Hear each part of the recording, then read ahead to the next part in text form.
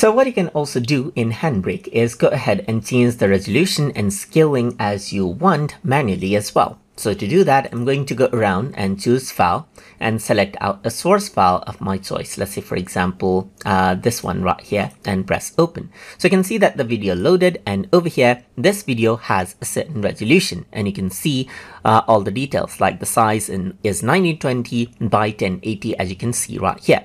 But if I want to have a specific resolution, I can go around over here onto dimension section right here.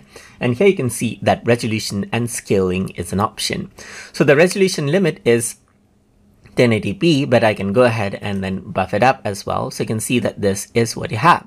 You can also go around and choose optimal size. So that disables this particular uh, area where you can enter your own resolution, or you can go ahead and um, disable that so that you can go ahead and let's say for example change out to your own resolution. So I can say something like 720 by 980 as well, just like this as well. And you can see that the pixel aspect gets stressed out just like that as well. You can allow upscaling as well so that it also goes ahead and turns lower resolution videos to upper resolution. So you can choose the resolution limit right here and you can even choose custom and choose the maximum size that it can go through right here just like this and choose the resolution as you want. And once you do that, everything in the preset turns into modified because we actually changed the resolution and scaling right here just like this.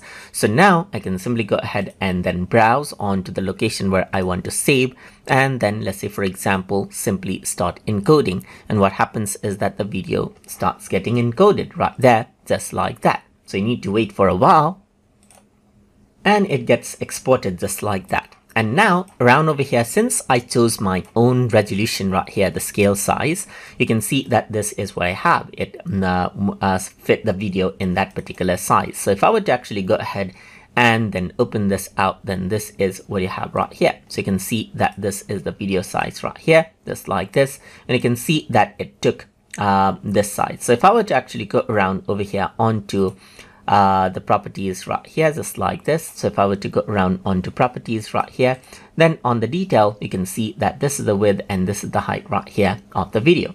And that is how you can go ahead and adjust the video resolution and scaling as you need inside of Handbrake. So I hope you guys learned something as always. And as always please like comment share and subscribe